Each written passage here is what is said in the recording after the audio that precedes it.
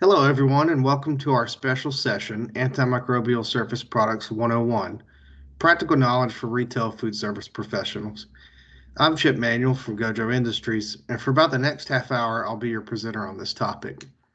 Now, we decided to come up with this topic because, as you all know, 2020 has been a bit of a crazy year with the pandemic going on. Uh, and with the COVID 19 pandemics, we've seen a pretty big increase in the use of disinfectants and sanitizers and we've gotten gotten the sense that there's been some confusion on these products as well. So the intent of this special session is to really ground the basic ground retail food service professionals with some basic knowledge about these products. So here's an agenda for today's sessions. I'll start off a little bit with a brief introduction of myself and also Gojo Industries. We'll go into a little bit about the different regulations around surface products because there's a lot of confusion in this area from what I what I can tell.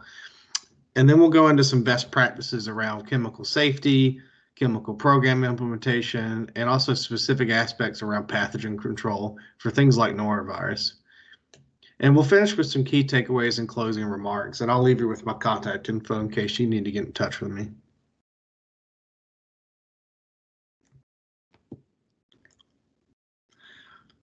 So just a brief introduction to myself and also Gojo, the company. So as I mentioned, I'm Chip Manuel. I've been around at Gojo for about a year and a half as a food safety science advisor. And in this role, I conduct food safety research and I serve as an internal and external subject matter expert on food science.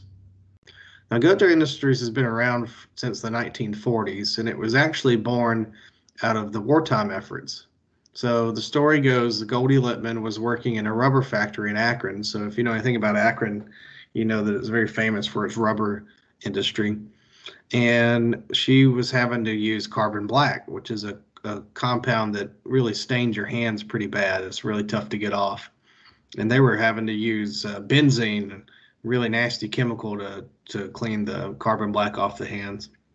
Well, that didn't really suit well with her husband, Jerry Lippman so he went down to the local university and tried to find a chemist that could find that could create a product to remove this from her hands. And lo and behold, he ran into a pretty well-known surfactant chemist, and they came up with the very first formulation for the Gojo waterless product that we still make today. So very humble beginnings, um, born out of a do it, get it done attitude, which still kind of exists in the company today.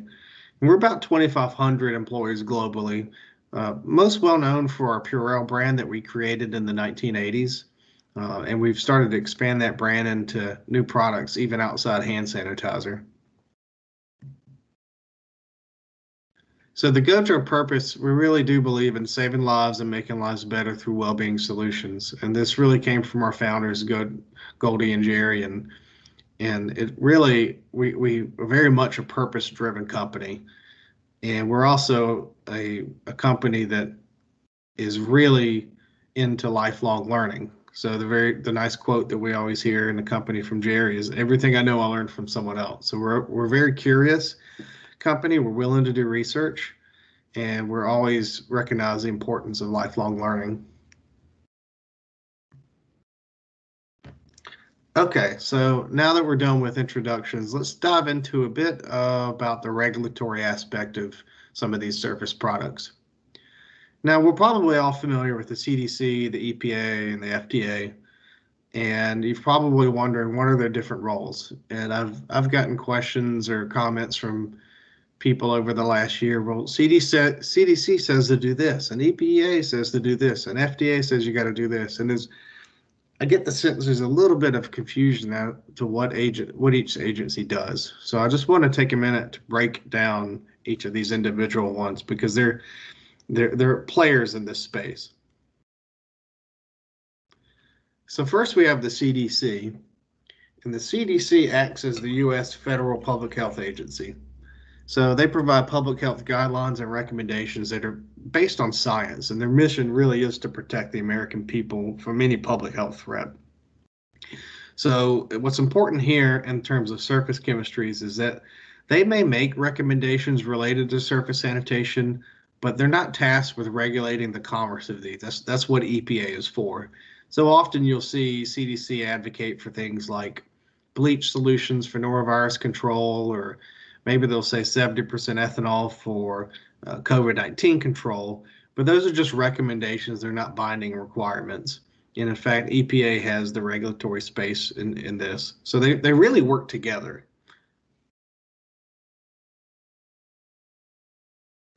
Now, the FDA is also an agency that you'll probably hear a lot about.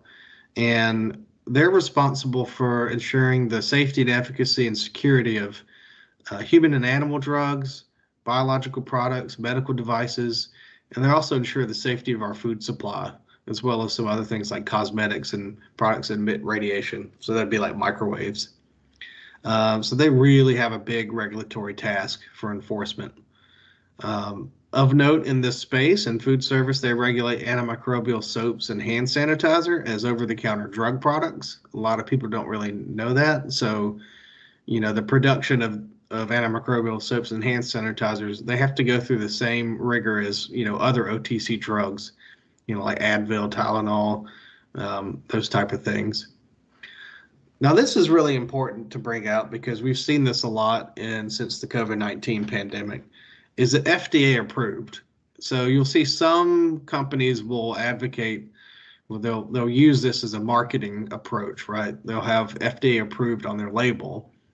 Uh, and is is this really true? Well, it yes and no. It depends on the product. Um, and the best thing I can tell you is that in general, in this space, FDA approved for things like antimicrobial soaps and hand sanitizers, you're really not supposed to to do that um, for for your marketing. And so this site here is a really good site to go to, um, and it kind of breaks down each sector and that the FDA regulates, and it shows you what they pre-approve and what they don't pre-approve. So that's really the distinction here. So just want to point this out because there are a lot of products coming on the market that will say, hey, we're FDA approved, but that may or may not be true. One other thing about the FDA that we should mention is that they publish the food code. Now, the food code comes out every four years, and it's really intended to be a model food safety program for local, state, and, and uh, tribal and federal regulators. So those jurisdictions that are responsible for regulating their own food safety uh, food safety rules. This is really a good model for them to build it from the ground up. So while it's not technically legally binding, it sort of serves as the gold standard for food safety inspection programs across the country. So where the food code plays with these surface products is they have very specific requirements around surface sanitizers mostly around food contact surfaces. Uh, these are just a few examples that I've picked out. So, for example, there are temperature requirements for chlorine, quat, and iodine-based solutions, and, and here's the section here if you want to look it up. There are pH and concentration requirements for chlorine solutions. Uh, specific requirements when you need to use a sanitizer on food contact surface.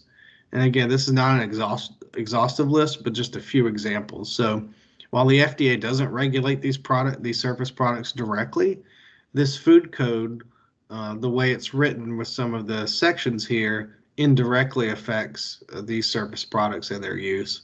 So it's worth being familiar with these um, and how it relates to your establishment.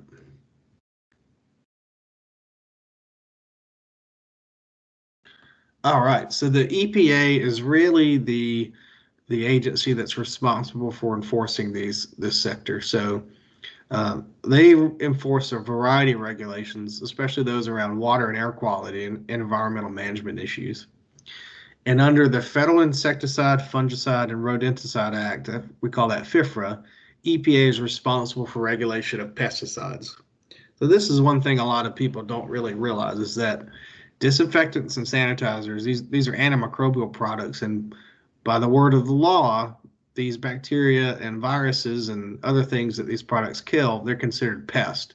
And so these are considered pesticidal products. So that's why they fall under the EPA regulatory system. So what's really important here about these products is that um, to be legally sold in the U.S., these products have to go through an EPA pre-market approval. So that we call this the registration process. That's where EPA assesses, registers, regulates, and they're really regularly reevaluating all the pesticides legally sold in the U.S. So it's a it's a it's sort of a checks and balances process to make sure everyone is is selling something that's true and and safe, you know, true to the label, um, selling something that's efficacious. It actually does what it says that it does, and it's given a, a layer of protection to uh, consumers and purchasers of these products so they know they're getting something that's legitimate.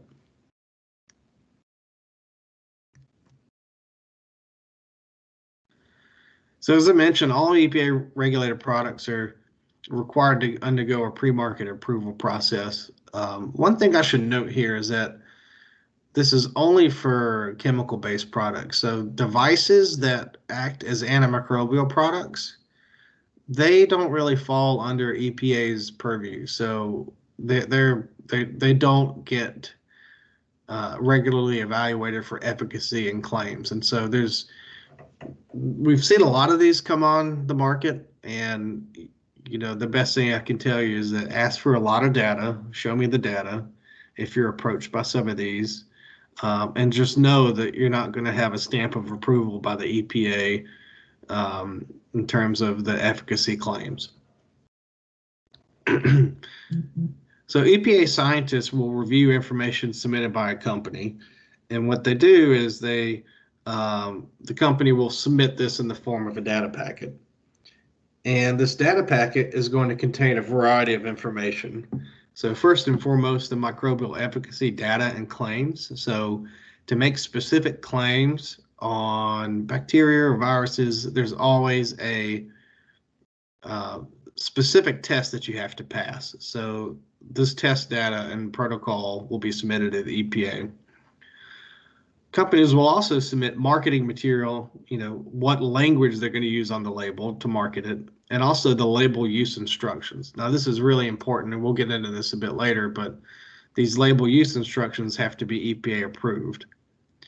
Chemistry data in the form of formulation and shelf life and stability testing are also submitted so that you're confident of the shelf life, the stability of the product. What you say is in there is really what's in there, and there's nothing that, that is in the formulation that could pose a threat to, to individuals. Also, there's toxicology data that you have to submit, and this sort of lets the the EPA will assess this and determine what sort of safety profile the product will fit in. Now, the EPA process could take anywhere from six to 24 months, and it really depends on the complexity of the product and also the novelty of the product itself. So, if you're submitting a new active ingredient, so an active ingredient is is the re- ingredient responsible for the actual antimicrobial properties if you're submitting a new one, that can take a while, you know, on that longer end, one to two years. Um, and so it's, it really depends on the formulation and the product itself as to how long this registration process takes. So as I mentioned, the EPA has this registration process where they all products undergo pre-market approval.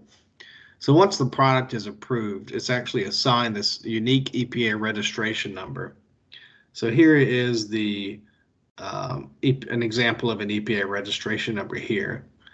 Uh, legitimate products will have this number, so this is always important. Um, and the number is required by law to be visible on the package itself, on the product's label.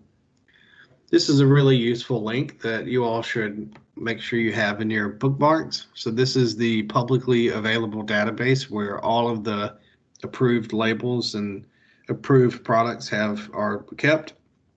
And so if you go to this database, you can search by company name, product name, EPA registration number, and it'll pull up the master label uh, for you, which we'll talk about in a second. So as I mentioned, the EPA process, once the product's registered, uh, the EPA's master label will be on file in that database that I shared. And this is a really important thing to keep on hand. It's probably a good idea to keep a copy of the most recent master label on file for the chemicals you're using. Uh, the master label will have all EPA approved antimicrobial claims, the use instructions, and the marketing language. So any it's worth noting that any deviation from these use instructions uh, by FIFRA is considered a, a, violation of federal law. So it's really important to make sure that you read and understand the label and that you follow it to a T. Here's an example from one of our products, uh, kind of what you'll see in a master label on this database. So this is a, just a shortened list of bacterial and viral kill claims. This is not exhaustive, but I just wanted to bring out what sort of what you expect to see when you dig into these EPA master labels.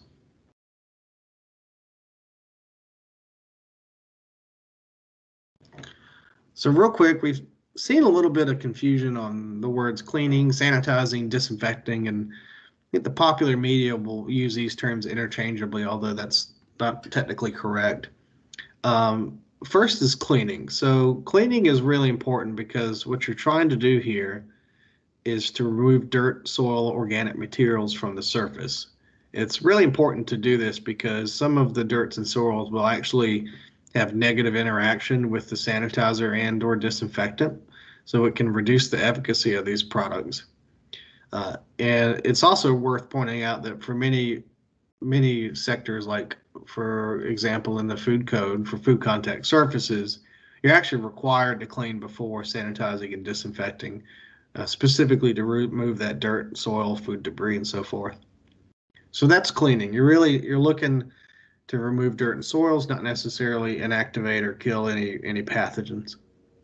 So sanitizing is intended to reduce bacteria and surfaces to a safe level, and it's not really intended to kill all bacteria. So these are these are antimicrobial products that are a little more mild than disinfectants, and that's sort of the distinction between the two.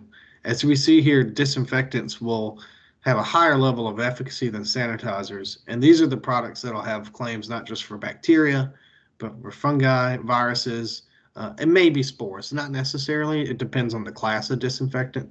But it, the good way of thinking about this is that they're a little more higher power than sanitizers. Now, recently, there have been some sanitizers that have come on the market that uh, they pass all of the sanitizers tests and they also pass all of the disinfecting tests. So they're, they're kind of a dual product. Um, not many of them exist, but we, we do have an example that I'll go through at the end. But I just wanted to bring that out. There's traditionally they're thought of as two different, completely different products, and for the vast majority of the time that is true. But some newer ones have come on um, the market that that you know kind of break this mold.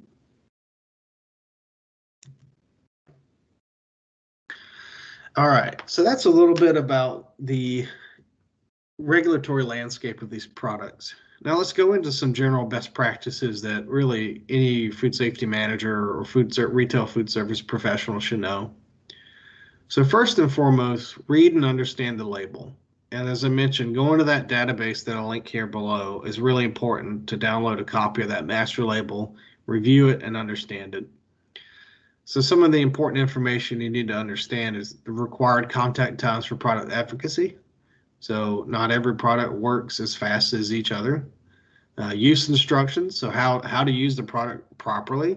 Remember these use instructions are, they're reviewed by EPA, so they're, they're considered true and this is what you should adhere to to maximize the product's efficacy any safety considerations, including precautions, PPE requirements, or disposal considerations. So, not all products have the same safety profile. You may have have a product that requires gloves and other PPE and may not know it. This is why it's important to use look at these labels to understand. And also it'll have manufacturer contact information so that you can get in touch with anyone when you might have an issue. And as I mentioned to FIFRA states that if you don't use the product according to the use instructions that could constitute a violation of law. And more importantly, it puts your guests and employees at risk. If if you're using a product incorrectly, you're not getting the efficacy out of it. You're really not doing a good job at protecting those guests and employees.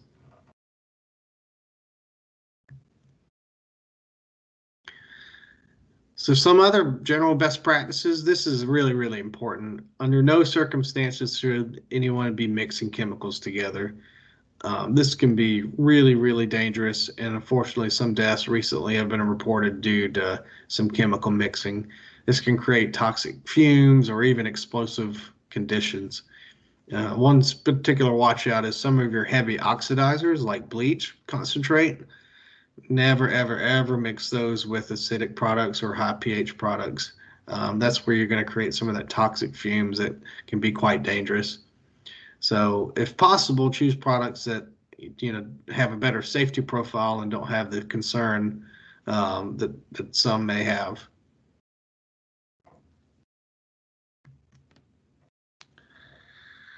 So training of staff is also incredibly important. And, you know, a good product that works quickly, that kills a lot, it's only one piece of the puzzle, right? If you have staff that are using it incorrectly or not using it at all, then it doesn't it doesn't do any good. So, you know, without proper training, if you have incorrect use of the product, you're actually probably putting yourself at more risk or your establishment at more risk. And the other piece of the puzzle here is don't just train just to train, train and then follow up. So you need to constantly assess your employees to see are they using the product right? Are they doing what they should be doing? Are they using it when they should? You know, because if you see that they they aren't, then that means you need more training. Uh, so it really is an iterative process. Train the staff, monitor the staff, and assess if you need more training.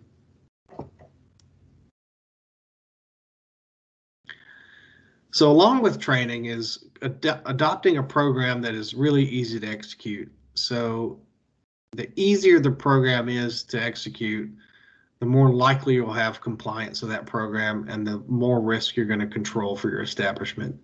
So when possible, always choose products that have really fast kill times, right? Uh, and this is sort of a thought experiment here if you think about the relationship between compliance to the label instructions, so that is, did you wait the required contact time versus the contact time as it gets longer here, this is 10 minutes. Conceptually, you can kind of intuitively, you know that people aren't going to wait 10 minutes when it gets out here, right? It's just harder to train people to wait those, those required contact times. So to really get the benefit of uh, easier to execute, and better compliance. This is why you need to choose products that have uh, the faster kill times.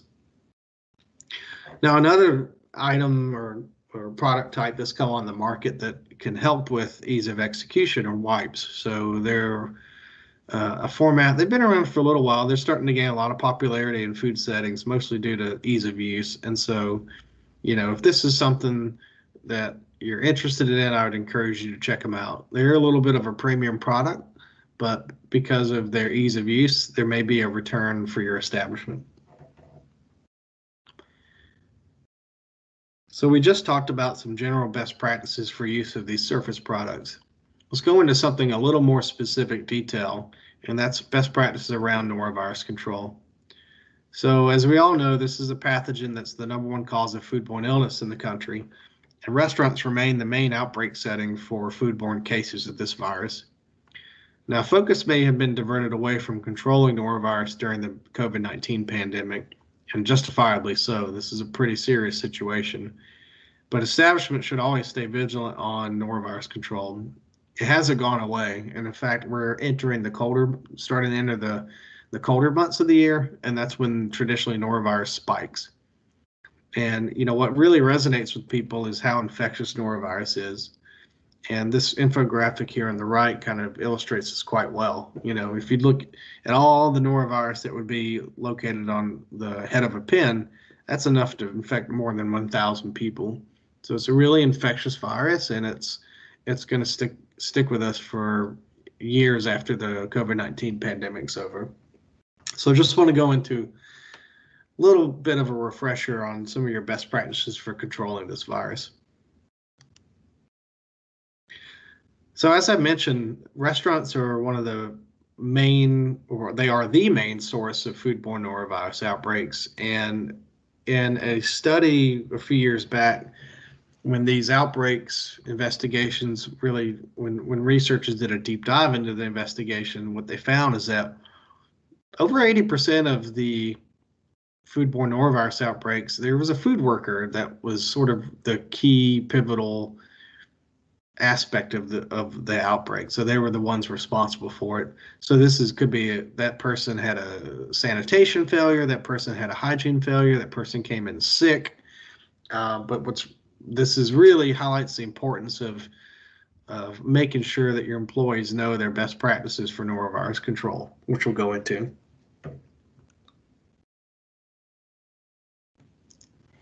So first and foremost, uh, I think this goes without saying that keep sick employees out of work. Uh, and it really parallels the COVID 19 situation. If you have employees coming to work that are sick with norovirus or any virus and they're shedding it, you know, they're putting others at risk and they're putting an outbreak at risk. So the business is at risk as well. And there's been some studies like this one shown here that keeping employees out of work when they're sick with norovirus is the is the number one way to prevent norovirus outbreaks from happening in these settings. So one way to do this is to implement a health screening policy and make sure that any symptoms are are caught. So nausea, diarrhea, vomiting, abdominal cramping, those are your classic norovirus symptoms. And any employee that has these symptoms are not allowed to work.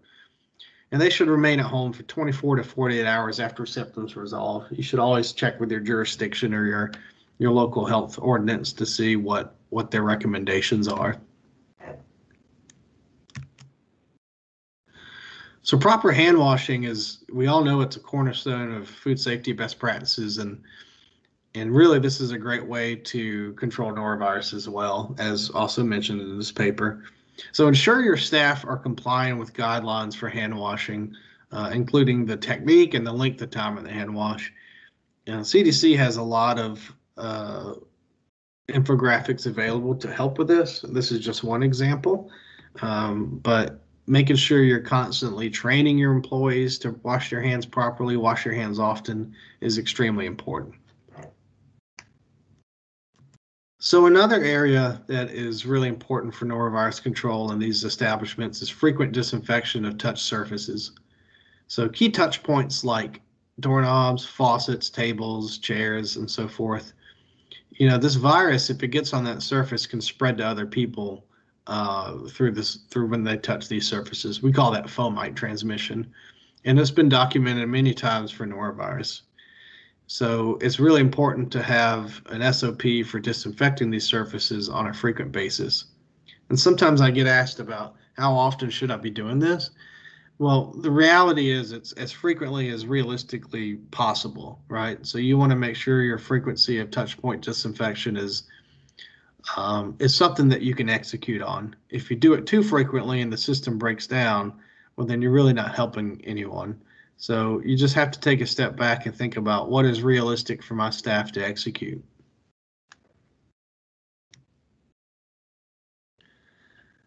All right, so those are some best practices for norovirus control, and we do have um, a couple products I want to just highlight that that are great for norovirus control and also other pathogens. So the first is our food service surface sanitizer, which was launched a few years ago. So this is an alcohol-based formula that's food contact safe, so it does not require any rinse on food contact surfaces, but it has a very powerful kill um, set of kill claims and kill times. So norovirus, E. coli, salmonella, 30 seconds, hepatitis A and human coronavirus in 60 seconds.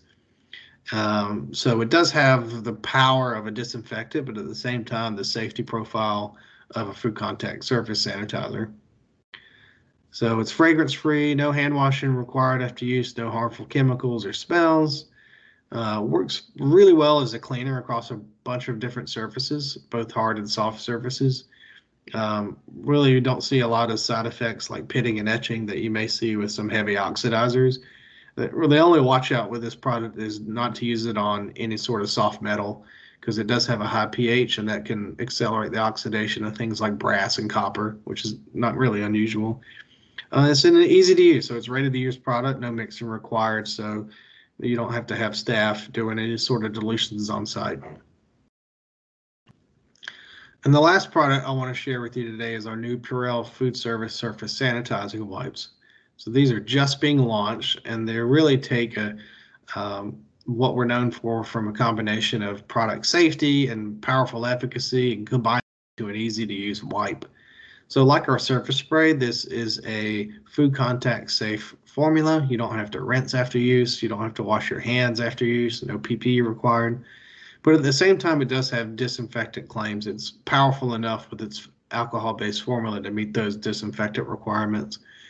So norovirus, salmonella, E. coli, listeria, cold and flu, human coronavirus. These are just some of the claims that this product has, and it's easy to use. That's the that's the really good thing about wipes is that it's they're ready to go. You just pull it and use it, and it really helps create a program that's easy to execute and increases and enhances compliance.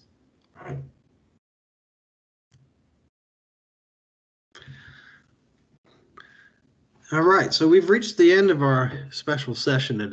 I just want to leave you with some key takeaways and high level thoughts from the last half hour. So, obviously, COVID 19 has been an incredibly stressful situation, and this pandemic has led to a, a pretty remarkable increase in the use of surface sanitizers and disinfectants. And we've seen there's some confusion around these products and the use of products. So, gaining a better understanding of these products will really help to reduce risk of any sort of illness outbreak happening in your establishment. So some key takeaways in terms of best practices, general product best practices. Always read and fully understand the product's label and paying special attention to the use instructions, contact times, and safety precautions.